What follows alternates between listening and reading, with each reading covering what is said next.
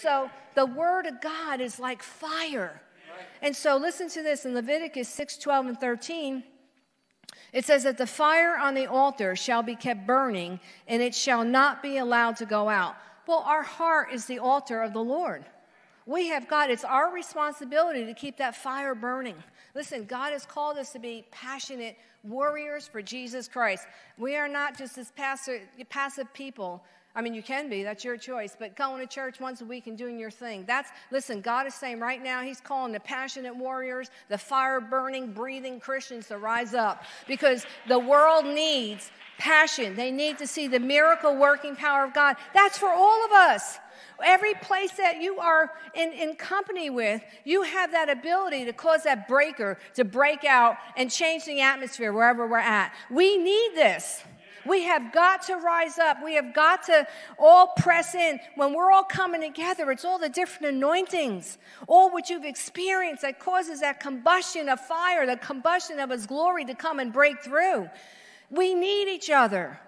That's why it was so diabolical how the enemy tried to shut us all down and prevent us in the name of, of you know, from not getting COVID. It sounded like a real noble thing, but this was a demonic setup to keep people isolated, keep people held back. And so, my God, I mean, I'm not saying it wasn't re- right, real. And initially, we have uh, family members that are in science that are working. We, uh, you know, COVID nurses and et cetera. It's not like it was. They know now what to do. We have medicine that helps us. Okay, we're not all going to die. We have medicine that helps us. There's there's a lot of different things, and I can send you tons of information on it. Do we have to be careful? I'm not saying be, you know, silly. You got you have to do what's right for you, but we're good, all right? And so things have shifted. And so, but see, again, we've got to get before the Lord. What is the Spirit of God saying to you? I want that fire burning. I don't want it to be a dim light. And what is that? How do we develop that passion? It, it comes through, part of it is meditation. We're, we're going to be talking about prayer. We're going to be talking about the armor of God. We're going to be talking about worship.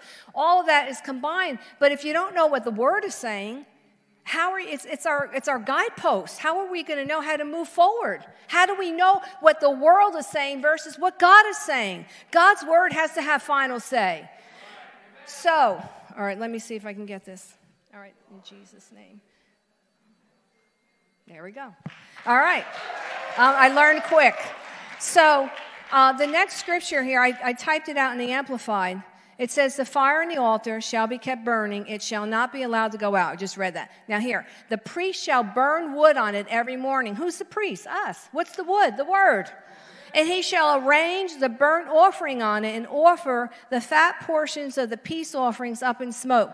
The fire shall burn, be burning continually on the altar. It shall not be allowed to go out. Never. We can never allow this fire to go out. And so I know in times past it has. Uh, listen, I'm going to tell you the truth. It, the fire went out in my heart a while ago. And, and when it did, it was bad. I became very passive. And, and what wasn't I doing? I wasn't in the Word. I mean, listen, I heard the Word, I would hear a scripture. I wasn't in sin, but what I did was I withdrew. I, there was disappointments. We all get disappointed, right? And I thought, you know what? God. And so that's just what the enemy, and I just pulled back.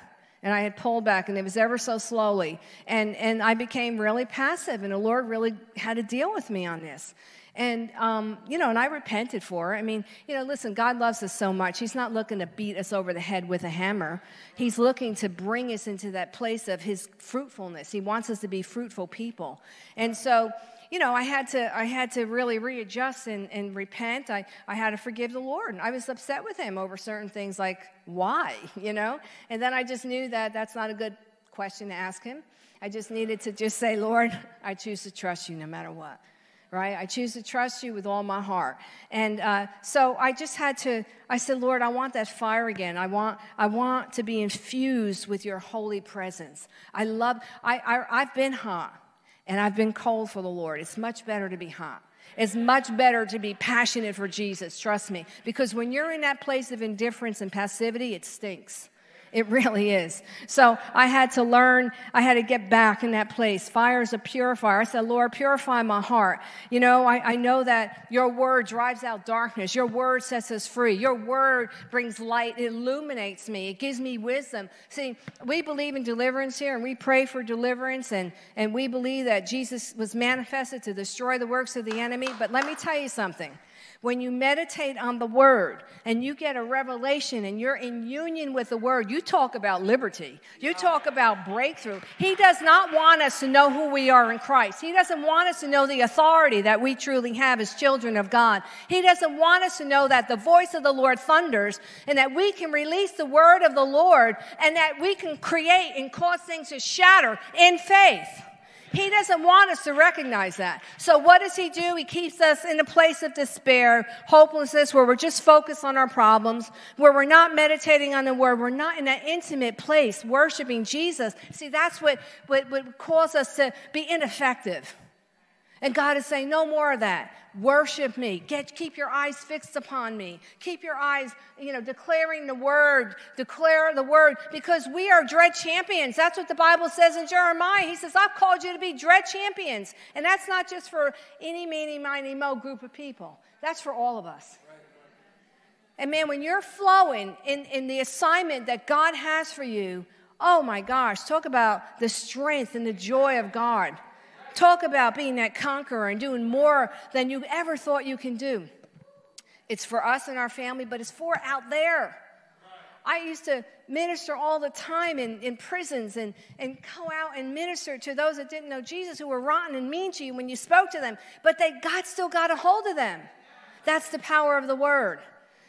And so Jesus is encouraging us now to have that zeal. The zeal of the Lord has consumed me. In another scripture in Jeremiah 29 in the NIV, it says, His word is in my heart like a fire, shut up in my bones. See, that's what has to happen. The word has to be shut up in our bones. And that's where I'm at. And that's what the Lord's saying to me. He's saying, listen, I want you to allow the word to have to be speaking to you daily. Speaking to you daily. No matter what you're at, no matter what you're going through, you get afraid, you hear something. What's the word that comes out? Well, I've not given you a spirit of fear, but a power, of love, and of sound mind. You're gonna let, what, are you going to let the fear and doubt drown you out, or the word take authority over it? So I, I typed out a bunch of scriptures here um, that have to do with uh, the word and fear and all this other stuff. Okay. So in 2 Timothy 1 6, we, um, we're all familiar with this. It says, this is why I would remind you to stir up, rekindle the embers of, fan the flame of, and keep burning the gracious gift of God, the inner fire that's in you by means of laying on of my hands with those of the elders at your ordination.